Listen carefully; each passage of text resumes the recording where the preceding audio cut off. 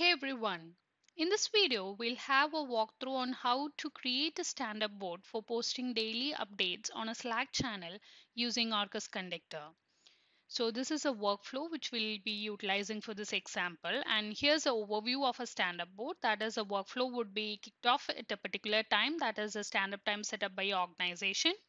And it can be achieved using the scheduler and the workflow sends a personalized message to each team member to provide the update and the users will be prompted to provide the update when they open their slack. And the workflow waits for all the updates to arrive and waits for a specific time for example maybe three hours. And then once all the updates are given the timeout occurs and the updates would be posted to the shared team channel. So this is the overview of how the workflow works. And in this example, we have two users. So they are implemented using a fork join task and these forks run in parallel to complete the workflow. And for each individual, uh, we are adding the sub workflow, which is the individual updates workflow. And this is a workflow definition for the individual updates. So it begins with an HTTP task that sends a welcome message to the user asking for the daily updates which is followed by a do while task that captures a user input. And the loop condition for the do while task is checked based on the webhook task. That is uh, it will capture the incoming events from slack. Then it is followed by a series of json jq transform tasks of which the this task is used to aggregate updates from the user and the second task converts the updates into a csv format and the third task appends a username with the updates and the final output is posted to the slack channel using the http task that is a post updates. So this is the basic uh, explanation of the workflow and now let's uh, see how you can achieve this using orkes conductor so here we have mentioned that we'll be utilizing the wait for webhook task. So let's create the webhook. So let's provide a webhook name. Next you can choose the workflows and you can choose the platform as Slack. So let's create the webhook. So a URL is generated which is unverified. Next, you need to create few secrets, which we'll be discussing while demonstrating the example, and also a scheduler.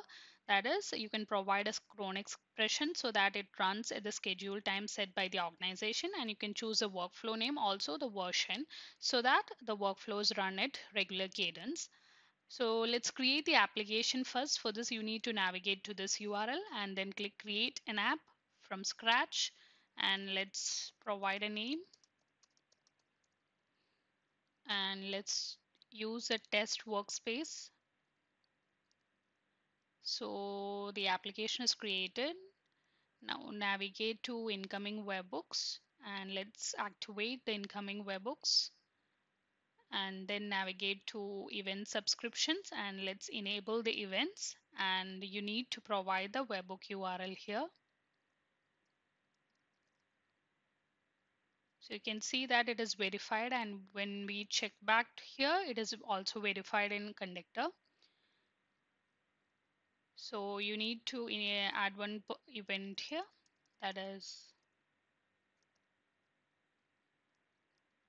okay so the application is ready now now let's navigate to app home and under messages tab you need to enable this option allow users to send slash commands and messages from the messages tab. Otherwise a user won't be able to send anything to the board when requested and you need to also enable the permission that is that write permission for the chats. So under bot token scopes you can add Okay, so the permission is enabled and now let's install the application. So navigate to settings, install app, install to workspace. You can choose a channel. So let's choose a DevRel stand-up channel. Okay, so if you check the channel, you can see that uh, an integration has been added to the channel. So uh, OAuth token is generated. So this you need to add as a secret in Orkes Conductor. So let's create a secret with the name Slack Standup Token and let's provide the value. So it's updated and also you need to provide this as uh, as a secret that is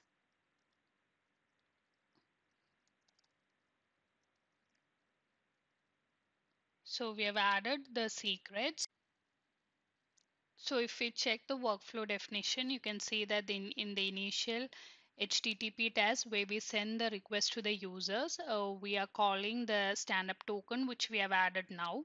And also while posting the request to the re uh, requested channel, we are uh, calling the channel URL which we have added as a secrets right now. And also uh, one more update which you need to make is while adding the individual updates uh, that is uh, for this particular user you need to replace uh, the uh, input parameters for this task with your employee's name and the user id so the user id you can get from the slack channel. That is you can check their profile and click on this and copy member id so you need to replace the user id with your employee's detail so and then save the workflow definition.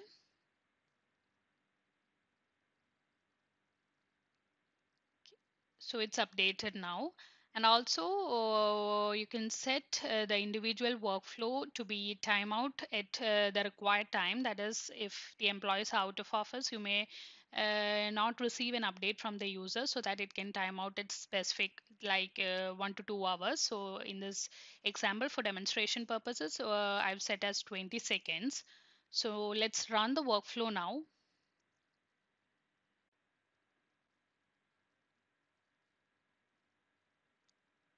So you can see that it is waiting for the update. And if you check you can see that the bot has requested for an update. So let's provide some update. So once you're done the up, uh, providing the update click on done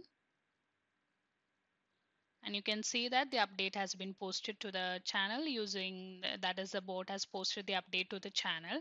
So if we check the execution you can see that it is completed and it's, it is waiting for the other users update. So since we have set up the timeout as 20 seconds, uh, if the user hasn't provided the update within 20 seconds, uh, this would be completed.